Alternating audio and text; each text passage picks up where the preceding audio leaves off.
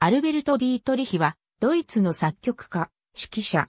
個人としての業績よりも、ヨハネス・ブラームスの友人として有名である。1851年からデュッセルドルフで、ロベルト・シューマンに作曲を師事する。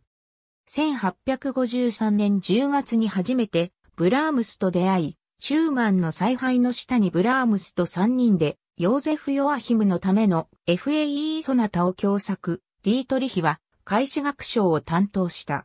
1861年から1890年までオルデンブルクの宮廷楽長を務めた。ブラームスがしばしばかの地を訪れたことから、ディートリヒはオルデンブルク宮廷でブラームス作品の多くを紹介した。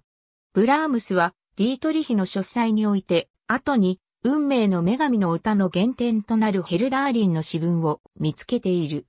ディートリヒは1868年のドイツレクイエムのブレーメン書園においても奔走している。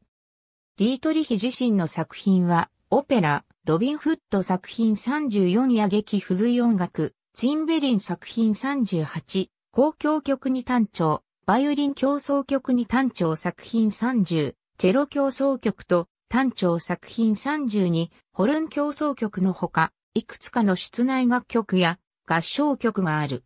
1898年にライプツィヒで出版されたブラームスの思い出は翌年に英訳され、今なお重要な資料となっている。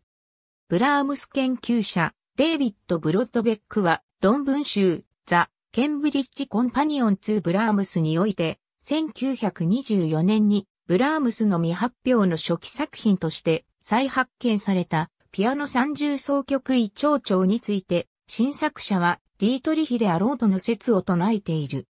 しかし音楽学者、マルコム・マクドナルドは、ブラームスにおいて、真作者として誰の名前を当てはめることができるとしても、作曲様式上のバランスから見て、やはり、ブラームスとするのがふさわしいと述べている。ありがとうございます。